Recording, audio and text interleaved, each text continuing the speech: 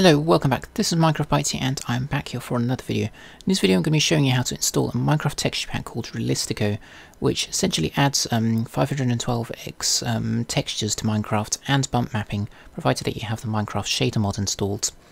So there's going to be a link in the description to the website um, for Realistico, um, and it is um, hosted on the website of the mod author, or the texture pack author. Uh, so essentially when you get to the homepage, um, you'll need to click Get It, uh, the Get It button. Uh, now the layout may change in the future, um, but uh, hopefully it's um, still fairly similar. And uh, anyway, so once you click that, that'll automatically scroll down on a page, um, and you need to download both of these links. Um, so open this link and open that one, um, and it will open into a um, shortened URL uh, ad server. So you basically need to wait for the uh, for a skip button to appear. That may be may, this may be like five or ten seconds um, and then it may redirect you to Mediafire after that.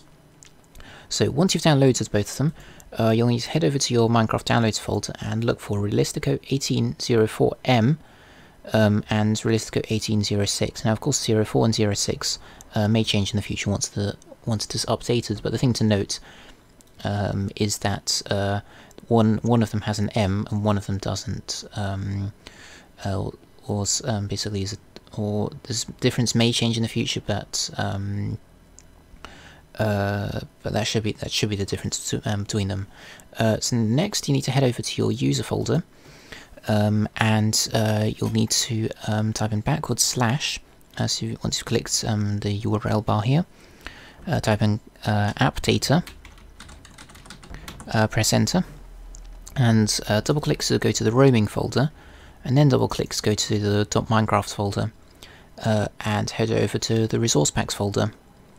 Uh, now, um, you can leave everything that is in there currently, uh, but um, uh, essentially what you, all you need to do is just copy the two zip files into here, um, and if you want to copy them instead of moving them to keep a backup of them, uh, then you can hold control on your keyboard. So once you have done that, uh, you will need to open up your Minecraft launcher, uh, and install the shaders mod, uh, there'll be a link in the description for a guide on how to install the shaders mod, um, for links to install the shaders mod. Uh, so once you have the shaders mod installed, uh, then um, you'll need to open up your Minecraft launcher and select uh, your Minecraft version and shaders mods in the profile. Uh, then click play.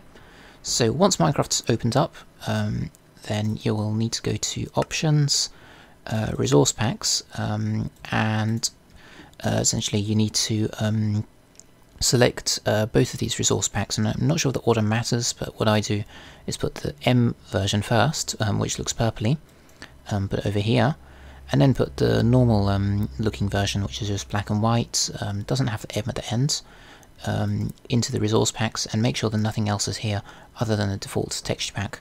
So once you have done that you can just click done and then load up a Minecraft single player world or head over into a Minecraft server and uh, make sure you have make sure you have shaders enabled. Uh, so I'll just um, cut the video here and show you what this looks like inside Minecraft. Okay, so let's check out what the texture pack looks like once it is enabled. Um, so as you can see, uh, lots of lots of things have um, bump mapping enabled um, and also high-res textures. So we have a look at, a, at grass, for example. Uh, then grass looks um, pretty awesome, um, especially the dirt textures in it and if you look at the um, top also, and even some different things like um, tall grass um, have high-res textures which look pretty awesome. Uh, so anyway, let's just head over to a few blocks um, uh, which I've compiled, which have high-res textures. Uh, so um, firstly is cobblestone, uh, which looks pretty awesome, uh, I think. Um, so this is actually a bump mapping is actually basically an optical effect because uh, as you can see here, everything's the same depth, but when you look at it from an, um, from most angles, um, due to the reflections and everything, it looks like this block is actually 3D, meaning that um, uh, different textures basically have different depths depths inside this block. Um, and uh, also here is a wooden plank. Uh, now as you can see, some of the blocks look like they're wet. Um, this basically helps with bump mapping effect um, because um, basically this allows for more reflections.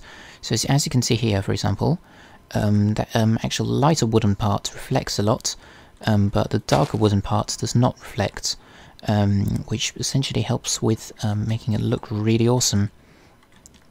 Uh, so as you can see, see over here, uh, here is some light grey wool. Uh, this uh, looks pretty cool also.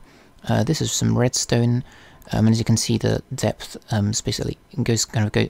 The redstone, actual redstone parts, goes inside the block, but with some of the other ores, it actually goes outside of the block um, visually, like gold ore, uh, diamond ore, and um, of course, um, there are few, uh, there are quite a few blocks which haven't been done because I imagine it takes a lot of time to actually create bump mapping um, for every single texture in Minecraft. Considering, um, I believe there are hundreds. Um, but anyway, I think the author's done a pretty good job and is continuing to update the texture pack um, regularly. Uh, so anyway, yeah, if we have a look at diamonds, then the actual diamonds part is going outside of the block. Uh, here is uh, nether quartz ore, um, which looks pretty cool. Uh, and these things, look, these blocks look especially cool, um, especially if it's raining or something. Um, uh, there's a stone brick. Um, now I don't believe there's a difference with the um, egg, stone brick egg um, block, um, but also this looks awesome. Uh, this is ch chiseled stone brick. and as you can see here, this doesn't actually have any bump mapping, but just the high-res textures add so much detail to this, to the textures. Uh, make it um, look really awesome, I think. Uh, now this is glowstone. Glowstone looks really awesome. Um, so uh, I think um, you can do some uh, pretty creative building with glowstone if you use this texture pack together with shaders. Uh, so let's just try something out. Let's just add some glowstone here, some white stained glass. Um, that looks kind of cool actually because you can just about see through see through the stained glass. But if we try out glass, that can look really cool, I think. Um, and also, uh, let's just get some redstone. Let's just get a redstone lamp. Uh, redstone lamps look pretty good. Um, and let's just give it some light. There. So yeah, the lighting's especially good, especially with shaders. Uh, now these are hay bales, um, and this is also wood or logs. Uh, so if you create, um, if you have trees, uh, then this um, effect can look really awesome. So let's just set the time back to zero. Especially with the um, shadows that the shader, mo shader, the shader mod gives, um, this looks pretty awesome. So you can see the bump mapping effect there. Let's just again confirm that this is an optical illusion. There isn't actually any um, uh, there isn't actually any depth um, to the blocks. Uh, now let's actually set the time uh, to nighttime. Um, and uh, as you can see, there's still the lighting looks pretty cool. But if we disable the lighting, uh, then you can see the ores look um, even. I, I, would say even cooler because it looks like the looks like there's liquid or something inside them. Um, especially with the moonlight. Uh, so yeah, this is gold ore, this is diamond ore, and yeah, this looks really awesome. I think. Um, uh, so actually, let's just um, toggle downfall. Uh, so if we add some rain to here, then um, uh, this can look really amazing, I think. Um, so let's just set the time to daytime again. Uh, okay, so as you can see here. Uh, now I think that um, considering the blocks look wet, it actually seems to fit fit in better when there's rain. Um, but anyway, let's just uh, hop over to um, a Minecraft server. So let's hop into the Hive server, check out what it looks like. Um, and some things look especially awesome, like snow. So as you can see, here's the uh, that's um, and with some large creations, the reflections um, add, can add quite a bit of depth. It does look a little weird sometimes though. You can see some things like snow um, have a lot of texture and depth. Um, like it doesn't even feel like the pixels have bump mapping. It feels like the whole texture is bump mapping.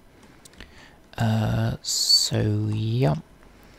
Uh, anyway, you'll end the video here. I hope you found this um, guide helpful, and um, uh, hope that this helps um, a lot of people recognize this awesome texture pack. Um, uh, because I really feel like it's underrated um, and basically makes the shader mod twice as awesome. Uh, so anyway, thank you very much for watching.